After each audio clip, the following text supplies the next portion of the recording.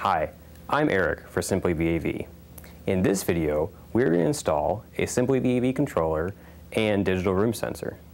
Installation is easy and uses tools commonly found on a job site. First, manually position the damper in the fully open position.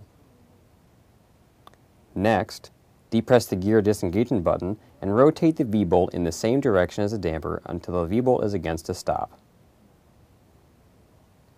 Place the controller over the damper shaft. Position the controller so the anti-rotation bushing is free from obstructions and can move freely in the mounting tab. Center the bushing in the slot. Fasten the controller with a number 8 sheet metal screw. Lock the hub to the shaft by evenly tightening the V-bolt nuts to approximately 35 inch-pounds.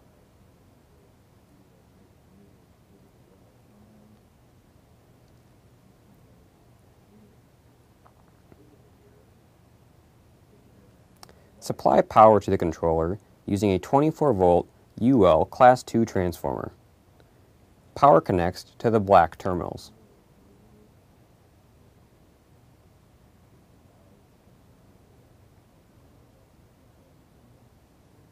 For fan-powered boxes, or boxes equipped with reheat, control signals are wired to the green terminals. The next step is to connect an Ethernet patch cable to the dedicated sensor port. I'll install and connect the digital room sensor later in this video.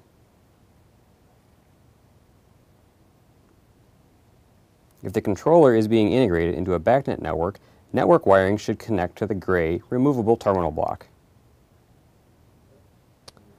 The final connection is the airflow sensor. In this installation, we are using the flow pickup that is supplied with the VAV box. Connect the high side of the airflow pickup to the high port on the controller. Connect the low side of the airflow pickup to the low port on the controller.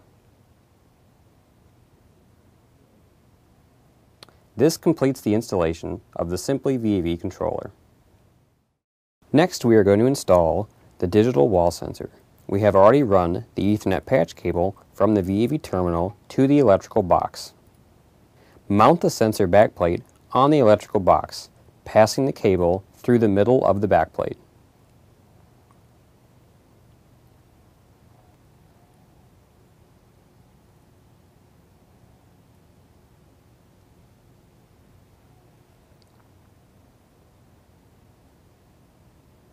Connect the sensor to the cable.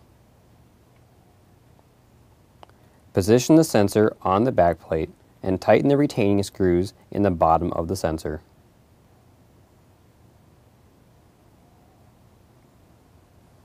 This completes the installation.